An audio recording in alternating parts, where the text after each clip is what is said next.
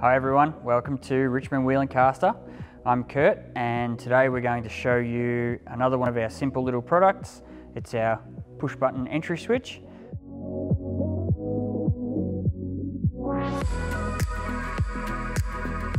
Now we've got a few different types of things that will allow you to open a, swing or sliding gate. This one is by far probably the, the most straightforward and, and simplest one.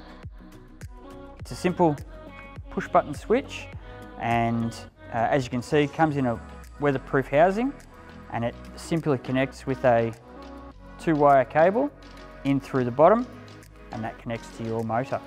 Um, this can be mounted on a post, on a wall, uh, it can be mounted further away from your motor if you need it to and it's all hardwired so there's no batteries required and as I said a simple push of the button and your gate will open. Um, we'll show you one of these set up and uh, run through some videos but pretty straightforward product, uh, cheap and easy to fit and it'll have you opening everything you need. So this is one of our simple push buttons, it's our GTR 202 um, it's a simple two wire connection.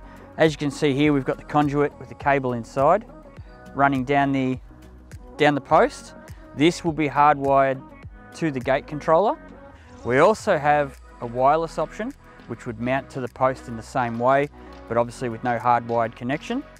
Um, generally, these will be set up with auto close so that once you've pushed the button to exit, you can simply leave and the gate would auto close behind you.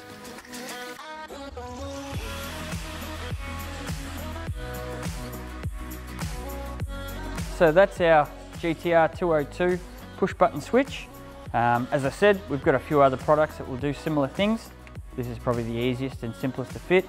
Uh, we've got plenty of other videos on our website, so please check out our webpage, check out our videos on YouTube as well, and don't forget to like and subscribe.